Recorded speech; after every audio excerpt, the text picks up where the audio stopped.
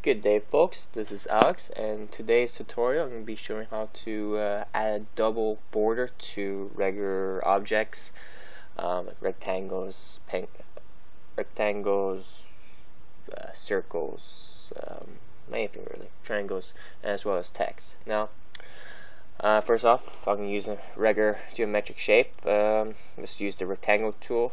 Let's make this normal and create object. Now, one regular looking object and we'll add a stroke right here. Um, we'll add a weight of two points and we'll change it to something different because it's the same color. So let's say this color looks not too bad. Let's give it a bit thicker. Now to add a second stroke all you have to do is go to the appearance menu the panel on the far right hand side. If it's not there for whatever reason just go to window and to appearance. Okay, so click here and click on this button. It looks like a square without its uh, without its middle parts. It's missing. So click that and you get a stroke. Now let's change the color to green so we see what happens. Right now it covers the arrow stroke completely. We don't want that.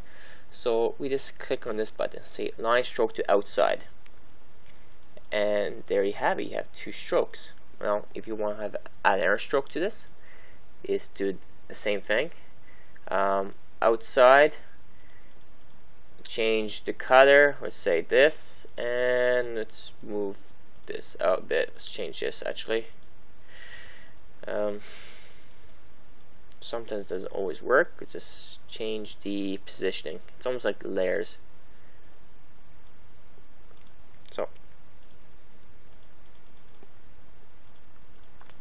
So, oops, there Let's move this, did that, stroke, it's outside, you can change it, uh, see what one you prefer better, outside is always the best, and there you have three strokes for that. Now, it's quite similar for uh, text, it's the same thing pretty much, all you have to do is of course write your text, so hola, or whatever, doesn't matter, add a stroke, let's give it a weight of two points. It's a good color. And you can add a stroke this way. Um, let's change it to um, blue.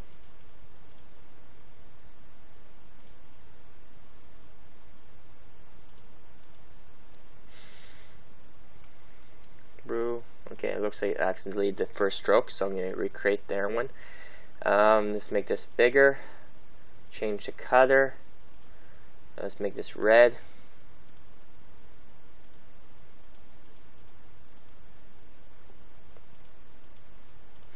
So there you have it. You have two strokes and if you want some effects you could just go stroke dash line. That looks pretty interesting. Or if we go back click that dash line and there you go make this text a bit bigger anyways so that's the end of this tutorial. I hope you enjoyed it and see you next time.